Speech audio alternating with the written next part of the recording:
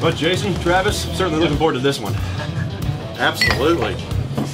Cheers, boys. Cheers.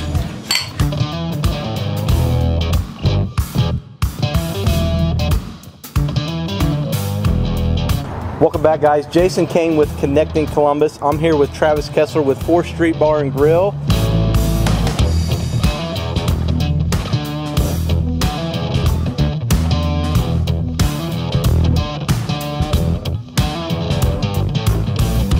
Fourth Street's actually been dubbed the Cheers of Columbus, and there's a reason Yep. for that. Tell us a little bit about that.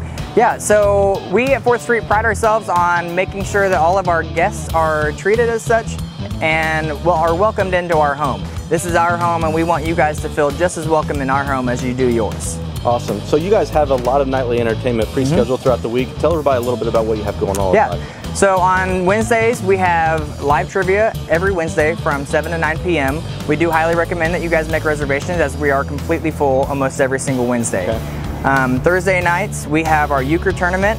It's absolutely free to enter, and that's from 6.30 to 8 p.m. And then that's also paired with our uh, acoustic music, and that's from 7 to 10 p.m. Okay. Friday nights, we have full bands, and that's from 8 p.m. to midnight. And then Saturday nights, we have karaoke with DJ Matty O Entertainment, and that runs from 9 p.m. till 1 in the morning. Nice, nice. So I have to throw this out here. The food is excellent here. If you guys haven't had it, it's top notch. Travis, tell us a little bit about what differentiates the food here at 4th Street from a lot of other places. Yeah, so a lot of people see 4th Street Bar and Grill and they just assume that it's a pub and grill. That is in our name.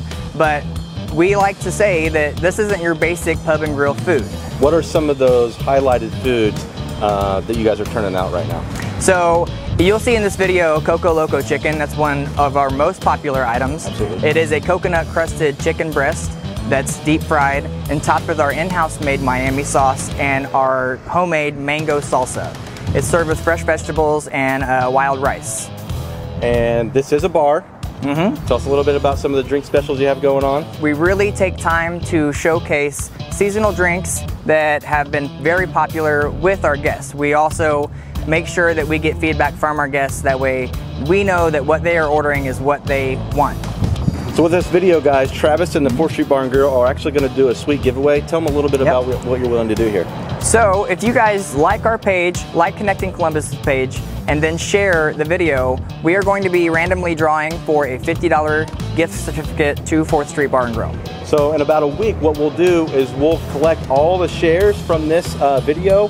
We'll come back Facebook Live with Travis and the rest of the staff here, randomly draw a winner, and we'll stalk you, find you somehow so we can get the gift card into your hands. Travis, I certainly appreciate the opportunity to come out today Absolutely. and touch a little bit about 4th Street and do a little bit of uh, spotlighting for you guys. Again, Jason Kane, Connecting Columbus. Thanks for watching. We'll catch you next time. See you guys.